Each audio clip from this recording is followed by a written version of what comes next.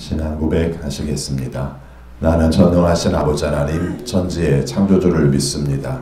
나는 그의 유일하신 아들 우리 주 예수 그리스도를 믿습니다. 그는 성령으로 잉태되어 동정녀 마리아에게서 나시고 본디오 빌라도에게 고난을 받아 십자가에 못 박혀 죽으시고 장사된 지 사흘 만에 죽은 자 가운데에서 다시 살아나셨으며 하늘에 오르시어 전능하신 아버지 하나님 우편에 앉아 계시다가 거기로부터 살아있는 자와 죽은 자를 심판하러 오십니다. 나는 성령을 믿으며 거룩한 공교회와 성도의 교제와 죄를 용서받는 것과 몸의 부활과 영생을 믿습니다. 아멘. 찬송가 387장 보시겠습니다. 387장입니다.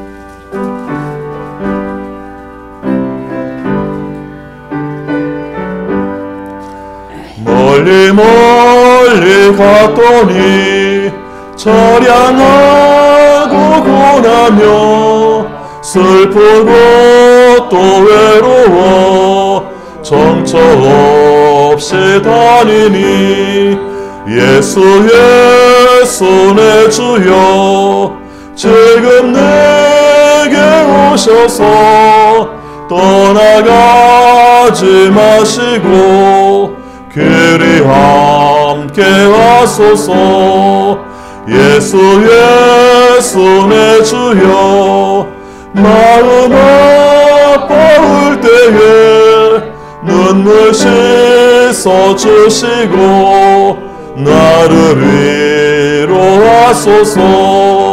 예수의 손에 주여 지금 내게 오셔서 떠나가지 마시고 길이 함께 하소서.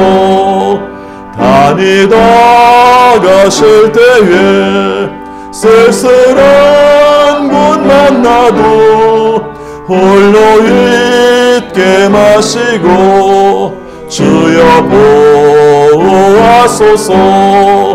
예수의 손에 주여 지금 내게 오셔서 떠나가지 마시고 길이 함께 하소서 아멘 하나님 말씀 시편 142편입니다.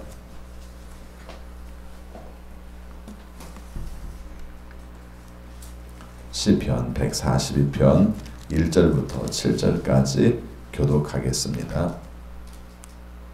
1절입니다. 나는 소리를 높여서 주님께 부르짖는다. 나는 소리를 높여서 주님께 애원한다.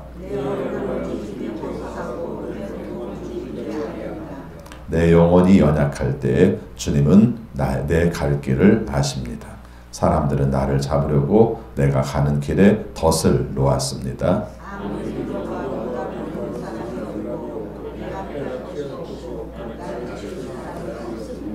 주님, 내가 주님께 부르짖습니다. 주님은 나의 피난처, 사람 사는 세상에서 내가 받은 분깃은 주님뿐이라고 하였습니다.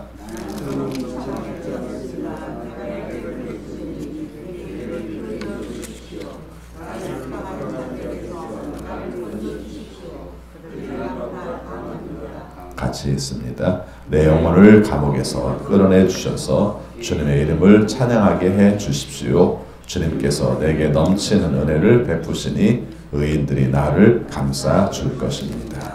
아멘. 오늘도 주님의 말씀에 순종하심으로 형통하는 우리 모두가 되시기를 축원합니다. 오늘 함께 읽은 말씀도 하나님 앞에 억울함 가운데에서 구해 주시기를 호소하는 그런 기도의 내용이죠. 특별히 오늘 말씀에 보면은 부제에 그런 게 있습니다. 다윗이 불에 있을 때 지은 마스길 그렇게 표현을 하고 있어요. 마스길이라는 단어는 시편의 용어 중에서 하나로 나오는 내용입니다. 그래서 아마 일반적으로 말할 때는 묵상 아니면 교훈적인 시 이렇게 말할 때 쓰는 용어가 마스길이다 이렇게 표현하고 있고요.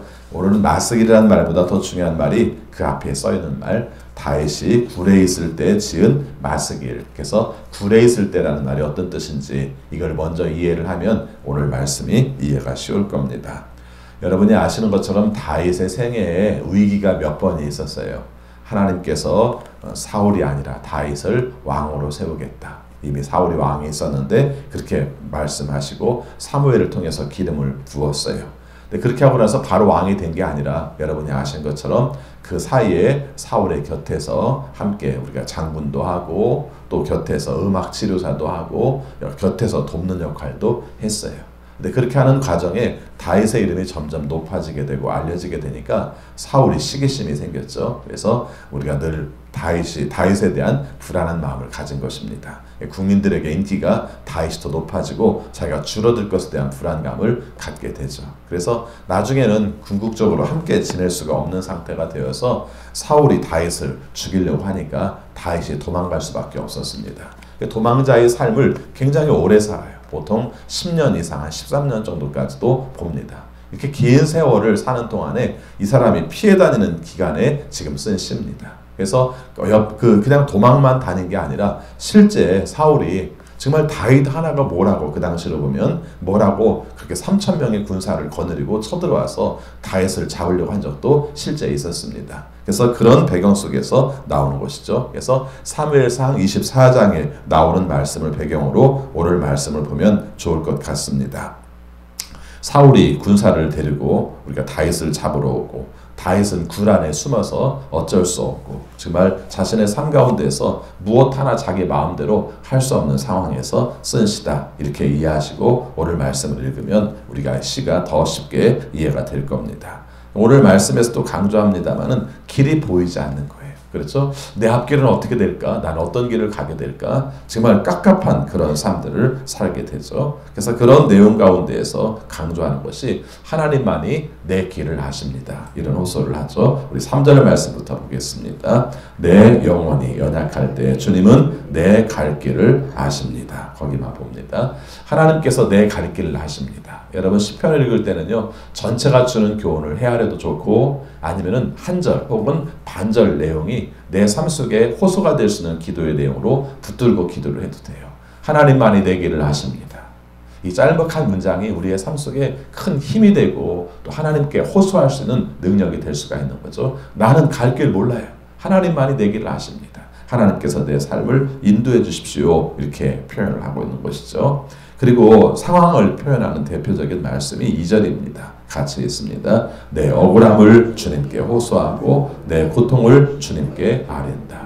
여러분 한번 생각해 보시 바랍니다. 사울이 다윗을 추적해러 다니면요. 굉장히 많은 사람들은 그리고 어쩌면 일부의 사람들은 사울이 정말 미친 것 같아. 다윗이 자기 위해서 나쁜 일 한 것도 없는데 왜 이렇게 추적하고 다녀? 이렇게 말하는 사람들도 많이 있었을 겁니다. 그러나 실제적으로는 드러내면서 다윗을 돕는다든가 다윗의 편을 든다든가 심지어는 사울에게 가서 다윗한테 그러면 안 돼요 라고 말하는 사람이 있었겠습니까? 없죠. 없습니다. 그러니까는 다윗의 입장 속에서 제일 힘든 것 중에 하나가 나는 틀린 게 없는데 옳은데 나의 삶 가운데 내 편이 되주는 사람은 한 명도 없어. 이 생각이 자기를 굉장히 괴롭게 한 거죠. 여러분의 삶 가운데서도 그런 순간들이 있을 겁니다. 가장 가깝게 생각하는 부모, 자식, 그래서 가장 친밀하다고 생각하고 그러는데 어느 한순간 우리가 마음속에 생각할 때는 내 곁에는 아무도 없어 이런 생각이 들 때가 있죠. 이때 바로 오늘 말씀이 우리에게 주는 내용과 같은 심정을 주고 있는 겁니다. 그래서 그 이유 때문에 하나님께 부르짖습니다. 1절 같이 있습니다. 나는 소리를 높여서 주님께 부르짖는다. 나는 소리를 높여서 주님께 애원한다. 말하죠. 3절 말씀에 보니까 사람들은 나를 잡으려고 내가 가는 길에 덫을 놓았습니다. 아무도 나를 도와줄 사람이 없고 오히려 호소를 들어주기는 커녕 나를 잡아 죽이려고 하는 사람들만 너무너무 많을 때 내가 어떻게 할 것인가 고립무원 아무도 내 곁에 없는 상태 4절 말씀 같이 있습니다. 아무리 둘러보아도 나를 도울 사람이 없고 내가 피할 곳이 없고 나를 지켜줄 사람이 없습니다. 엄격하게 말하면 기도는 이 자리에서 기도가 시작되는 것 같아요. 그렇죠? 평안할 때, 안정적일 때도 기도를 합니다만은 내 마음 깊은 곳에서 철저하게 하나님 앞에 호소하면서 하나님의 도우심을 구하는 자리는 내 곁에는 아무도 없습니다. 내 곁에는 다 나를 잡아 죽이려는 사람만 있습니다. 내 삶 속에 나를 도와주는 사람이 아무도 없습니다. 이걸 경험할 때 하나님만이 나의 도움이십니다. 하나님만이 나의 길이십니다라는 그런 고백을 하게 됩니다. 오늘 5절 말씀에서 그렇게 호소합니다. 5절을 같이 읽습니다. 주님 내가 주님께 부르짖습니다. 주님은 나의 피난처 사람 사는 세상에서 내가 받은 분깃은 주님뿐이라고 하였습니다. 오늘 말씀에서 하나님에 대한 신앙 고백을 두 가지로 해요. 하나는 피난처. 이건 현실적인 이야기예요. 추상적인 이야기가 아니라 늘 도망 다니고 있는데 하나님이 도와주시지 않으면 내가 피할 곳이 없습니다. 여러분 생각하세요. 굉장히 많은 사람이 자기 한 명을 찾겠다고 여기저기서 나타날 때 얼마나 불안합니까? 그렇죠? 내가 지금 서 있는 자리, 내가 앉아 있는 자리, 내가 행동하는 자리, 무엇을 하든지 간에 다 우리가 들킬 수밖에 없는 상황이라고 생각할 때 얼마나 힘들겠어요? 그럴 때 내가 피할 수 있는 곳이 바로 하나님이라는 것이죠. 그 다음에 여기서 분깃이라는 것은 재산, 유업 뭐 이런 말로 쓸 수 있는데 세상에 내 것은 하나도 없어요. 내 것이 하나도 없는 상황 속에서 하나님이 내 것이라는 거죠. 이 말이 좀 이상하게 들릴지 모르겠습니다만은 하나님께서 주신 것이 내 것이고 내게 속한 것은 하나님밖에 없다는 거예요. 그러니까 하나님이 주신 것이 중요한 게 아니라 지금은 하나님이 나의 재산인 거예요. 그래서 하나님만을 의지할 수밖에 없습니다. 이런 고백을 하고 있죠. 자, 6절 말씀 봅니다. 같이 있습니다. 나는 너무 비참하게 되었습니다. 내가 이렇게 부르시니 내게 귀를 기울여 주십시오. 나를 핍박하는 자들에게서 나를 건져 주십시오. 그들이 나보다 강합니다. 이렇게 말하죠. 하나님 앞에 기도할 수 있는 이유는 어, 긍휼히 여겨 주십시오. 내가 불쌍한 상태에 처해 있습니다. 이것 외에는 없어요. 사실은 우리가 이렇게 다윗처럼 쫓겨다니는 입장에서만 그런 게 아니라 우리도 기도하는 근거는 뭡니까? 불쌍히 여겨 주세요. 하나님 우리를 불쌍히 여겨 주세요. 내가 상태가 안 좋습니다. 하나님께서 도와주실 때만 내가 설 수 있습니다. 이게 바로 기도할 수 있는 근거인 것이죠. 하나님만이 나의 재산이시고 하나님만이 나의 호소를 들어줄 수 있는 분이시고 하나님만이 내 인생의 길들을 뒤집어 볼수 있는 분이시다. 이런 고백을 가질 때 가능하죠. 오늘 생명의 삶 컬럼에 하영재 목사님 글이 담겨 있는데 하영재 목사님이 그런 말씀을 하세요. 어, 매일매일의 삶 가운데서 하나님을 기억하는 것이 기도다. 너무 평범한 얘기죠. 근데 그 예를 들어서 이렇게 표현을 해요. 직장에 나갔다가 내가 아내가 있었던가 없었던가 있었나? 아 집에 가보니까 있네. 이건 온전한 관계가 아니라는 거죠. 그렇죠? 어떤 자리에 있다 할지라도 아내가 내 곁에 늘 있고 나와 의지하고 나의 삶 가운데 함께 있다는 것을 생각하며 살지 않는가. 그러세요? 그러십니까? 순간순간 그러면서 그 표현을 하나님과의 관계에서 말하는 거죠. 어떤 어려운 순간이 되었을 때 어, 하나님이 계시지? 참 하나님께 기도해야지. 이게 아니라 일상적인 삶 가운데서 어떤 상황 가운데서도 하나님은 나와 함께 계시고 하나님과 하나님은 내 호소를 들어주시고 가장 어려울 때도 내 편이 되어주시는 분이 하나님이셔. 이렇게 생각하는 것이 기도라고 말씀을 하고 있습니다. 이 시간 우리가 오프라인을 통해서든지 온라인을 통해서든지 새벽 예배를 드리고 있다는 것 자체가 하나님께 가까이 나가고 있는 것입니다만은 더 한 가지 부탁을 드린다면 매 순간 하나님을 기억하시기 바랍니다. 그리고 하나님을 바라보시고요. 어떤 상황 속에서도 하나님이 나를 도와주신다는 믿음의 고백이 되시기 바랍니다. 우리가 시편 찬양을 읽으면서 함께 느끼는 것 중에 하나가 시편 찬양인데 하나님을 어떻게 고백하는가 하는 내용이 의외로 많아요. 근데 이 내용은 거꾸로 생각하면은 내 처지가 그러기 때문에 그런 하나님을 찾는 것이죠. 그래서 하나님에 대한 묘사는 많이 있죠. 전능하신 하나님, 전지하신 하나님, 어느 곳에나 계시는 무소불능의 하나님 이런 말들을 해요. 이것은 우리가 생각할 때 그냥 그분을 꾸며드리는 날이 아니라 내 삶의 처지에서 하는 거예요. 내가 정말 지혜가 필요한데 앞길을 헤쳐나가고 싶은데 그걸 잘 모르겠어요. 그럴 때는 전지전능하신 하나님을 우리가 찾고 있는 거죠. 그리고 내가 있는 곳에서 어느 곳에서나 하나님의 존재하심을 내가 느끼고 싶어요. 그래서 어떤 곳에서 함께 하신 하나님이 이 상황 속에서도 함께 하시기를 바라는 거죠. 그럴 때는 우리가 무소부지하신 하나님을 우리가 찾게 되는 것이죠. 내가 질병 가운데 무척 힘들어요. 그럴 때는 바로 하나님을 우리가 치유하신 하나님으로 찾고 있는 거예요. 우리가 갖다 붙이면 되는 게 아니라 사실은 하나님이 먼저 그렇게 다가오셨죠. 성경의 말씀을 통해서 어느 곳에나 계시고 전지전능하시고 나를 치료하시고 문제 해결해 주시고 그리고 오늘 말씀처럼 또 시편에 굉장히 많은 내용처럼 강조하는 것이 원수들에게 둘러싸여 있을 때에도 나와 함께 하시는 하나님에 대한 고백 그리고 그 호소를 말씀하고 있는 것입니다.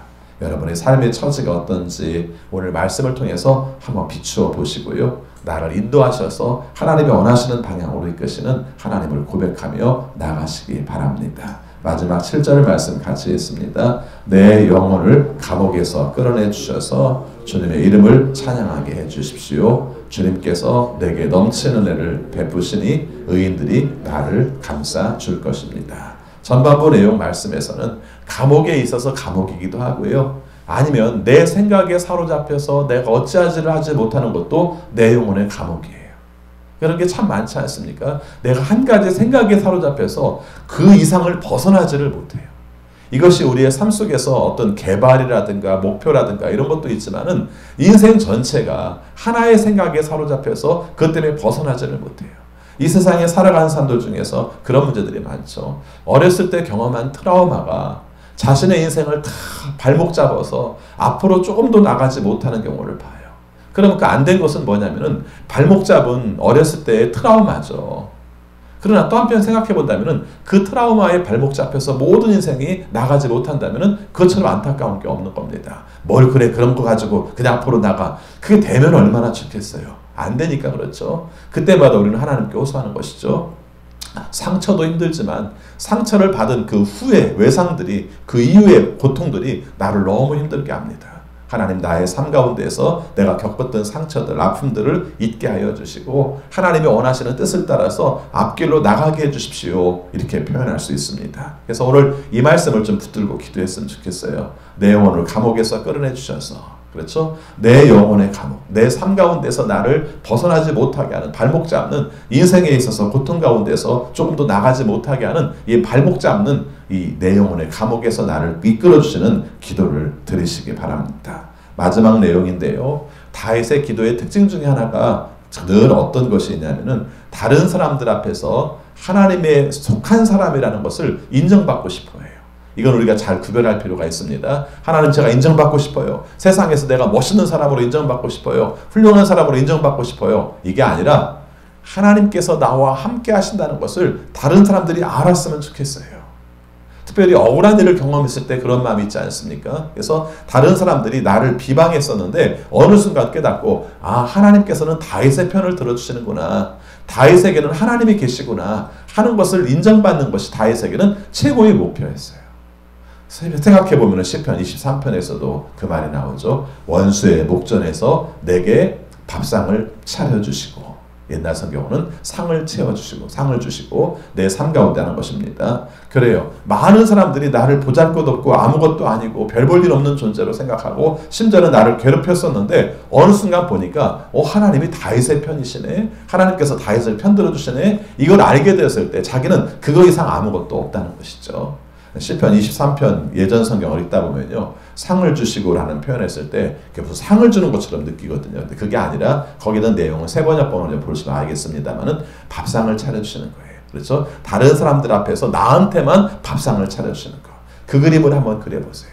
내가 늘 억울한고 다른 사람들에게 보잘것없는 것처럼 그렇게 보였었는데 어느 순간 다른 사람들은 말고 하나님께서 나에게만 밥상을 차려주시는 거예요.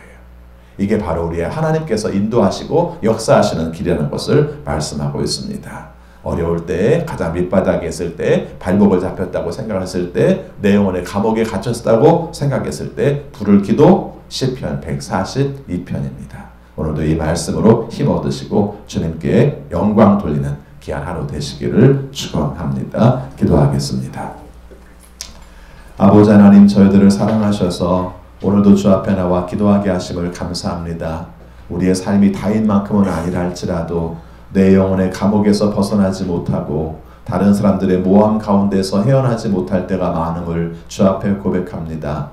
나의 삶 가운데 그럴 때 하나님만이 나의 구원자시고 하나님만이 나의 길이심을 고백하며 하나님께 영광 돌리며 나갈 수 있는 우리 모두가 되게 하여 주옵소서. 아버지 코로나로 인하여 겪고 있는 우리 아픔을 주님께서 기억하여 주셔서 우리가 속히 종식되게 하여 주시고 하나님의 은혜로 회복할 수 있도록 도와 주옵소서. 치료제와 백신을 위하여 기도합니다. 하나님 안에서 이 모든 일들을 잘 처리할 수 있기 위해서 기도합니다. 하나님께서 도우심으로 하나님의 은혜 가운데 회복할 수 있도록 인도하여 주옵소서. 이 아침 시간도 각자의 기도의 제목을 가지고 주 앞에 기도하는 성도들의 기도를 들어주셔서 주님의 놀라운 은혜와 능력을 경험하는 시간이 되게 하여 주옵소서. 특별히 주 앞에 나오고 싶지만 몸이 편치 않아서 고통 가운데 있어서 주 앞에 간구하며 이 시간 기도하는 식구들을 기도하여 주셔서 응답하여 주셔서 주님의 능력 가운데 치료받게 하여 주옵소서. 특별히 자녀들을 위하여 기도하는 식구들 함께 하여 주셔서 우리가 잘 양육한다고 하지만 우리의 뜻대로 되지 않고 또 하나님의 도우심만을 구할 수밖에 없는 안타까운 처지에 있는 자녀들도 있습니다. 주님께서 도와주셔서 육적으로도 강건하게 하시고 정신적으로도 강건하게 하시고 영적으로도 강건하게 하셔서 하나님이 원하시는 길로 나가는 우리 모든 자녀들이 되게 하여 주옵소서. 오늘도 주의 이름으로 모이는 모든 일들마다 주님께 영광 되게 하시고 주님의 은혜를 경험하게 하여 주옵소서. 예수 그리스도 이름으로 기도하옵나이다. 아멘. 하늘에 계신 우리 아버지, 아버지의 이름을 거룩하게 하시며 아버지의 나라가 오게 하시며 아버지의 뜻이 하늘에서와 같이 땅에서도 이루어지게 하소서. 오늘 우리에게 일용할 양식을 주시고 우리가 우리에게 잘못한 사람을 용서하여 준 것 같이 우리 죄를 용서하여 주시고 우리를 시험에 빠지지 않게 하시고 악에서 구하소서 나라와 권능과 영광이 영원히 아버지의 것입니다. 아멘.